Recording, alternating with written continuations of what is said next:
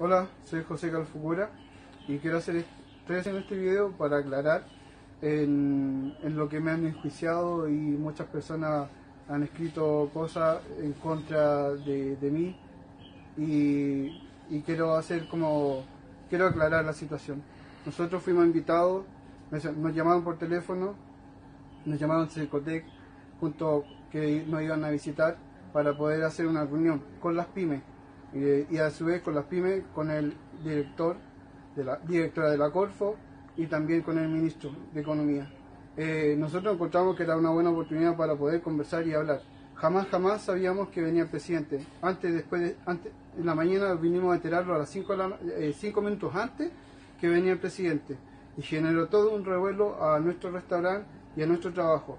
Siempre ha sido mi referencia de sacar adelante la gastronomía y también toda mi postura ha sido en contra del sistema que se está desarrollando para poder empobrecer más a la gente, para darle mala salud. Todo eso siempre yo lo, lo he recalcado a través de mis redes sociales. Jamás he sido amigo del presidente y si yo tengo la oportunidad de invitar a la gente, son todos bienvenidos. Pero eso sí, no avalo para nada la estructura y tampoco ni los balines ni como a mi gente en el sur. Y eso se lo dije al presidente que tampoco salió en las noticias. Le dije que así como que tienen que proteger a nuestras mujeres y nuestra, nuestra familia mapuche en el sur, porque es el patrimonio cultural y por eso se tiene que defender. Se lo dije. Mis amigos que saben cómo soy y cómo actúo en la vida, sé que me van a creerme y, y, a eso apelo. Apelo a, a la claridad, apelo a la honestidad, porque yo en la vida soy así.